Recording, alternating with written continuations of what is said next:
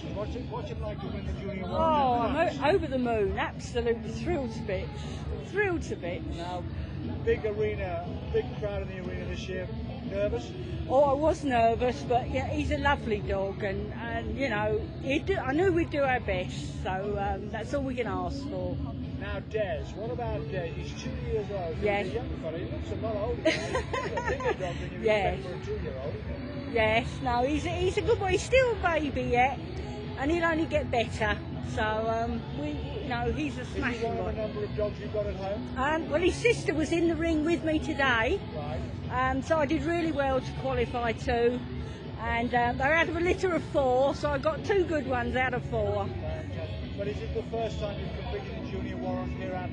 Oh yes, got through to the final. Yes, absolutely. I bet you were pretty chuffed about that. Oh weren't yeah, just to be here, super. So uh, where do we go to from here then? Oh well, he is a show champion actually, believe it or not. Although he's only young, he, he has he is a show champion already. So um, you know, he'll he'll go on for a few more years hopefully. Pretty, he looks pretty chuffed with himself, doesn't he? He's got that sort of look on his face. Yeah. Come on, you know, I can do Yeah, this as often as you like. no, he's a Well smasher. done, Des. Yeah. Hey, Des.